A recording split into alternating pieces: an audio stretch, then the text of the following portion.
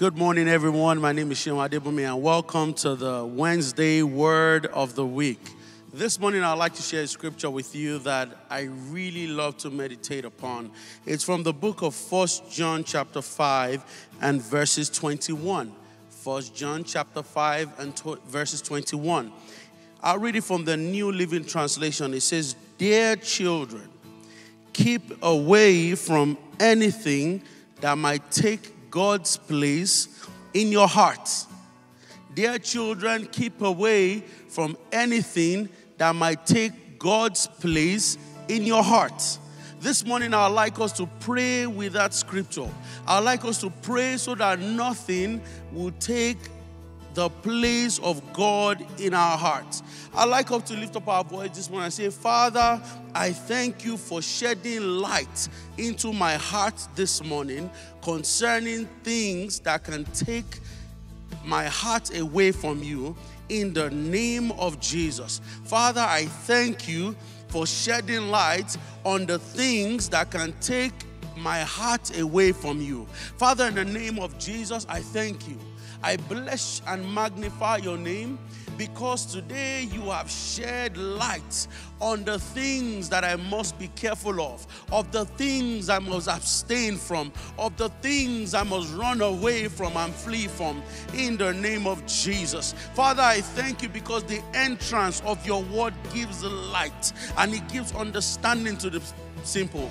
I thank you today, Heavenly Father, because you have shed light on these things. In Jesus' precious name, we pray.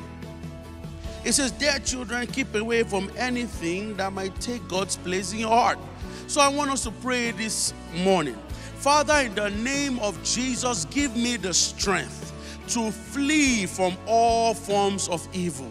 Give me the strength to kick away everything that may take your place in my heart. In the name of Jesus, let it not be tasteful to me in the name of Jesus. Let me not be attracted to the things that will cause me into damnation. Father, I pray in the name of Jesus that whatsoever my heart longs for that is not you, Father, in the name of Jesus, help me, help me, deliver me from them. In Jesus' mighty name, we have prayed.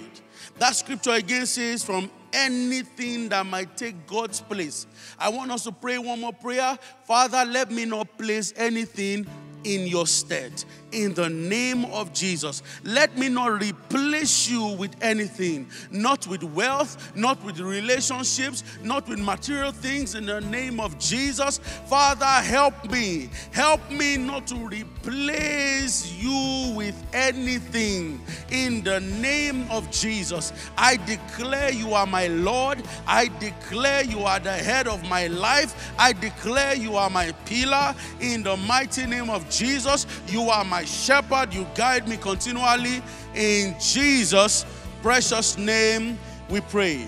I want us just to give God thanks this morning for the for this month of May. I want us to thank God for deliverances, thank Him for healing, thank Him for your salvation afresh. Thank Him because He is God and there is none like Him.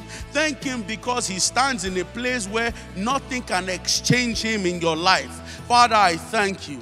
I thank you because you are good. I thank you because your mercy endureth forever. I thank you because in this month of May, you are removing everything that is striving to take your place in my life. You are God and God forever.